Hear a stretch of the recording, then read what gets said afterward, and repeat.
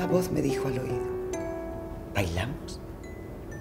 Respondí que no sabía bailar. No importa, me dijo. Yo bailo muy bien y la voy a enseñar.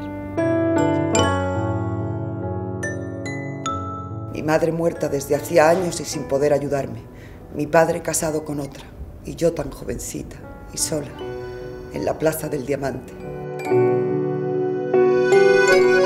Marcel Rudureda nos cuenta que personas muy pequeñas pueden realizar actos muy grandes. Y en medio de esas voces se alzó un canto de ángeles, pero de ángeles furiosos que reñían a la gente y que les enseñaban que estaban ante las almas muertas de todos los soldados muertos en la guerra. La verdad es que me lo pensé hasta que recibí una llamada una noche de Juan Manuel Serrat y me dijo, o lo haces o lo haces. Y dije, me tiro a la piscina.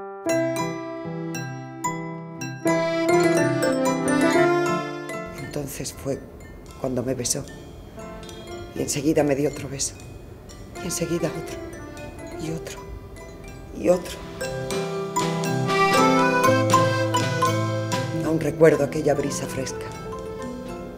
Un aire fresco que jamás he vuelto a sentir.